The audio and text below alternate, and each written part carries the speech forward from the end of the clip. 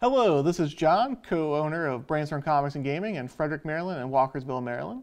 Uh, this is our weekly Storm Watch where we go over the top nine books, three Marvel, three DC, three independent, that we think you should pay attention to on the happiest day of the week, every New Comic Wednesday.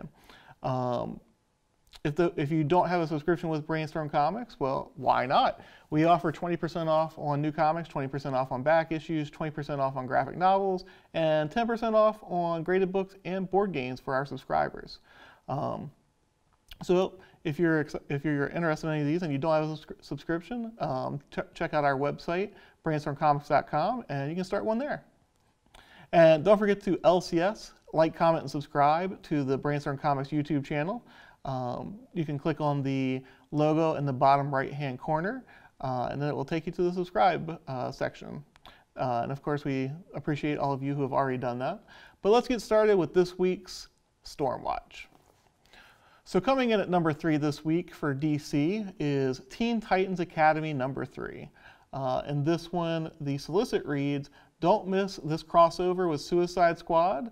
Hunted by the deadly Task Force X, the new students of Titans Academy will have to grow up fast or risk losing one of their own even faster. Why has the squad put a target on new speedster Bolt's back? And why, in its charge on Titans Island, is Amanda Waller's team of villains being led by the mysterious Red X? So I did have an opportunity to page through this one. I think that the next issue is going to be pretty big. Um, Red X is very important to those who uh, grew up with the Teen Titans cartoon. He, he was very instrumental in, in their love of it.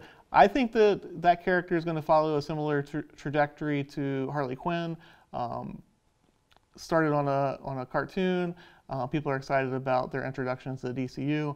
Uh, so that one is our number three pick of the week. So let's move on to number two. Stargirl Spring Break Special number one. Uh, the big selling point for this one is the return of Geoff Johns to the character. For those of you who don't know, the character was modeled after his sister who, who passed away. Um, I believe she was in a plane crash, and he, he made this one kind of like an homage to her in her memory. Um, the solicit for this one reads, The Seven Soldiers of Spring Break, uh, Courtney Whitmore's spring break plans aren't like your average high schoolers. Instead of hanging out with friends, she's heading out on an adventure with her stepfather, Pat Dugan, aka Stripe, and teaming up with her former team, the Seven Soldiers of Victory.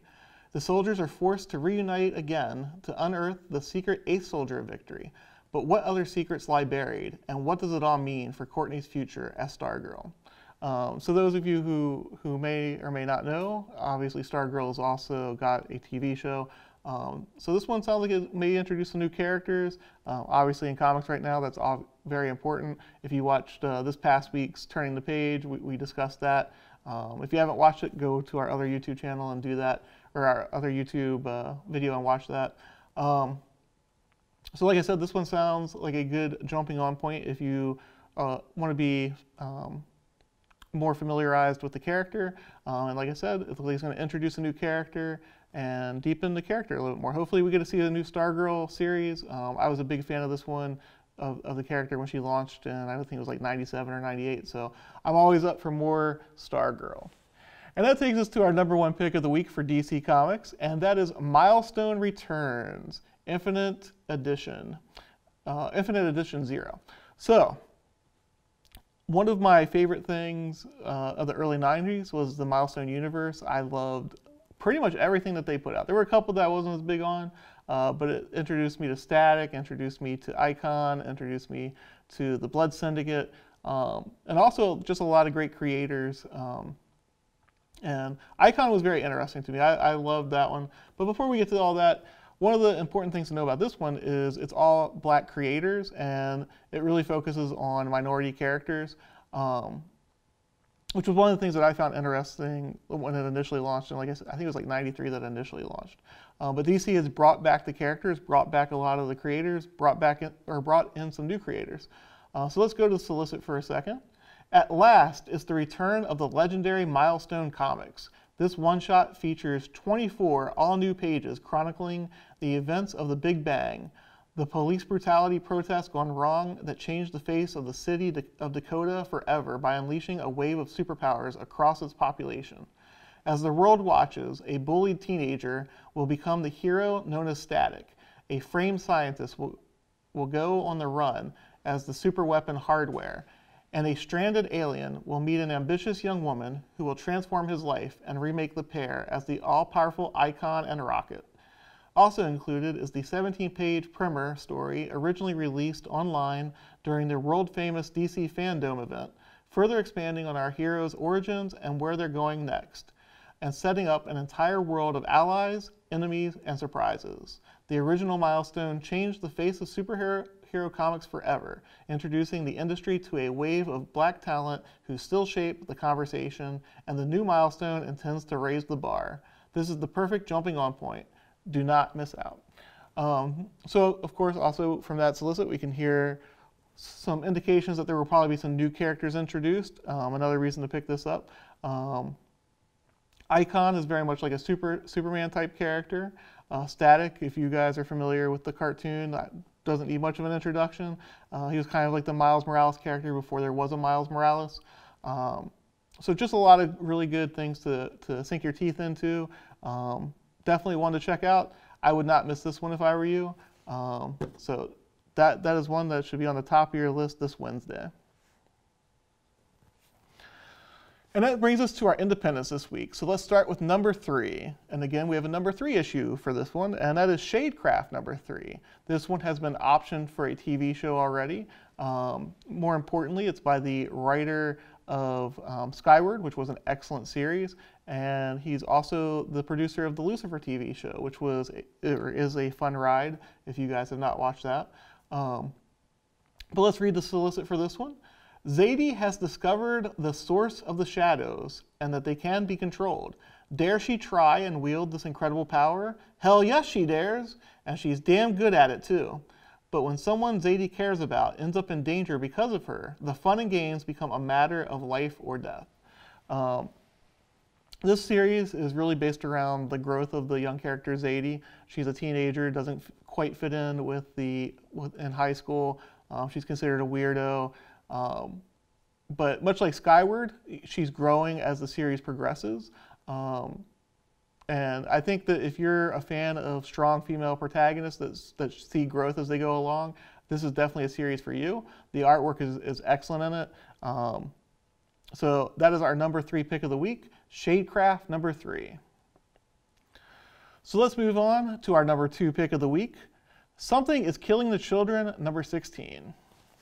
Uh, for those of you who don't know, this one has also been optioned for a TV show. Um, people are excited about that. People have been putting into uh, snapping up the early ones. The prices on those are skyrocketing. Um, but let's go to solicit and then we'll come back to why this one made the, the top three. The story you demanded begins here, the origin of Erica Slaughter. What shocking events brought Erica to the House of Slaughter? And what does she have to do to join the Order of St. George? The secrets are revealed here for the first time in this perfect jumping on point for new readers. So in that solicit, you hear the two reasons why it did make our number two pick. Uh, number one, people have been interested in where Erica Slaughter came from. If the TV show does get made, obviously um, her origin is going to be a sought out book. Um, so that so, so for people who care about key issues, um, that is what, one of the reasons why it made it. For the readers, um, as you heard in that last sentence, this is a perfect jumping on point for new readers. Uh, we also have the graphic novels in stock. So, and like I said, if you're a subscriber, you get 20% off those as well as the new books. Um, so that is why that has made our number two pick of the week. And that brings us to our number one pick of the week for Independence. If you've been watching these series, you know that I love issue number ones. I probably show more give them more attention to, to my time than, than anything else. Um, I love the start of a good story. Unfortunately, my time dictates that I, I don't always have time to keep reading them. Um, but number one this week is Made in Korea number one. So let's read the solicit for that one. A quick start guide for your proxy. Step one, remove box. Step two, power on. Step three, raise your child. For Jesse, the world's first true AI system, growing up means learning to think outside the box. This exciting new six-issue miniseries will, de- will redefine what it means to be a family in an age when biological parenthood is no longer a reality. So this one has a lot of that sci-fi elements that I'm interested in. Um, it sounds like it, it it's kind of like in that um, vein of, of, AI, the movie. Um, it also like so fans of The Sender may want to check this one out. It is a mini series, um, but it sounds very interesting. I think that this one has the opportunity to be um, one that people read for a while. Um, it sounds like it's uh, definitely got the hallmark of of, uh, of a great story. So that's our number one pick of the week for Independence. And let's move on to our top three Marvel books. And I did a little bit of cheating on this one. It's actually going to be two different titles, but they tie together. Um, they are Star Wars Darth Vader number 12 and Dr. Aphra number 10. And the reason that I paired these together is because they're both part of the War of the Bounty Hunter storyline. Um, so let's read the Darth Vader solicit and then we'll read the Dr. Aphra one. Um, for Darth Vader, Returned to the fold after his rebellion against the Emperor, Darth Vader faces the horrors of Reconstruction in the secret lab laboratories of Coruscant. As he blacks out under the knife, does he still dream of revenge against his master, or do his thoughts drift towards his son and the friends who make Luke Skywalker so vulnerable? Don't miss this next critical new chapter in Vader's ongoing evolution, featuring the revelation of the first time the Dark Lord learned the name Han Solo. So moving on to Dr. Aphra number 10, the solicit reads, Dr. Aphra and Sana Starros find themselves cornered by Vukorah and the Unbroken Clan. Can they pull off a daring escape, even if that means surrendering to the Nihil hyperdrive? And what sets them on a collision course with one of the most deadly bounty hunters in the galaxy? Um, so War of the Bounty Hunters is going to be an epic storyline. Again, Chandler and I covered the size of this. It's 34 parts over on Turning the Page. You can hear our discussion there. Um, so I've been talking to the Star Wars fans out there who have, who have been reading the Prelude things, and they said that the story's been very engrossing so far. Uh, more importantly, I think that there's going to be a lot of new characters introduced to this one. I think we're going to see a lot of um, expansion of the roles of, of these characters as well. Um, obviously with the Bounty Hunters TV show on Disney Plus, that's becoming um, the, the first appearance of Bounty Hunters is becoming very sought after by, by Star Wars collectors and comic book collectors. Um, so that's why this one made our number three pick of the week from Marvel. So that brings us to our number two pick from Marvel, and that is Black Panther number 25. Um, one of the key reasons that this is on the, the top three picks for Marvel is Ta-Nehisi Coates is concluding his run on the character. He's been on there for, I want to say six years at this point. I want to say he started in 2015. Um, so obviously he's going to have something big happen to pay off everything that he's been building up over these years. Um, I'm sure that we'll see him set up the world for the next writer as well. Uh, but let's turn to the solicit and see what it has to say. The final issue of Ta-Nehisi Coates' landmark, landmark run is the end of an era for the Black Panther as renowned writer Ta-Nehisi Coates concludes his Wakandan epic. Over five years, Coates has taken the Black Panther to hell and back and expanded Wakanda into the distant stars.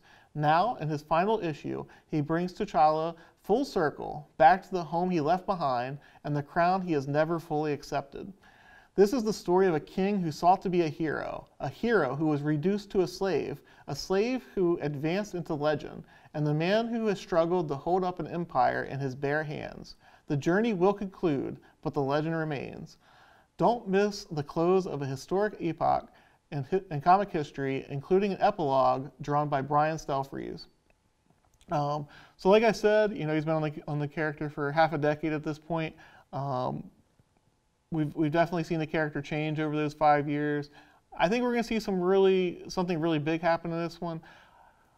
More more importantly, for for me, at least from looking at the covers without knowing the interior of the story, um, there are some very awesome covers for this one. Um, I want to say there's like five or six that are going to knock people's socks off. Um, uh, maybe we'll rotate through some of them at the end of this video and let you see what they are. So that brings us to our number one pick for Marvel this week. Um, there are a couple of Heroes Reborn um, number ones out this week. Uh, the one that we chose for number one, however, was Heroes Reborn Young Squadron number one. Um, one of the biggest things in Marvel right now are their young heroes, and this one centers around them and a new take on them. Um, the Heroes Reborn, in case you don't know, is as if the Avengers were never assembled. Um, the Squadron Supreme uh, took their place instead. And so the Marvel Universe has been reshaped in that image. And so let's read the solicit for this one. The Squadron Supreme of America have taken root in the hearts and minds of all, but none more so than the trio of youthful champions who call themselves the Young Squadron. Quid, Kid Spectrum, Sam Alexander, Girl Power, Kamala Khan, and the all new Falcon, Miles Morales, are here to fight for true, true justice and the American flag. Or are they? Beneath the flashy facade of colorful adventure, something grim is stirring, and Deadpool is determined to bring it to light. So, as you can see, we have two of the more popular characters in the Marvel Universe. We have Kamala Khan and we have Miles Morales leading up this one. Um, Sam Alexander is, is growing in popularity. He hasn't quite reached the same level as the other two, however. Um, so if you've been enjoying the Heroes Reborn series, um, this is one that I think you should check out. Even if it's not one that you've been reading, uh, if you're a fan of those characters, I think this might be one for you to, to read as well. Um, I honestly think that there will be at least one or two new characters that come out of this um, that are, are, introduced into the into the mainstream Marvel universe after this whole miniseries is done. This little side event is done. Um, we will see. Obviously, I don't have any inside information on that, but I do think that that's what we will probably see. Um, so that concludes this week's The Storm Watch. Uh, hopefully you enjoyed um, the picks. Hopefully you saw something or heard something that you want to pick up. Um, just a reminder to please LCS, like, comment, and subscribe to the Brainstorm Comics and Gaming YouTube channel. Um, and thank you for watching. Have a happy Wednesday.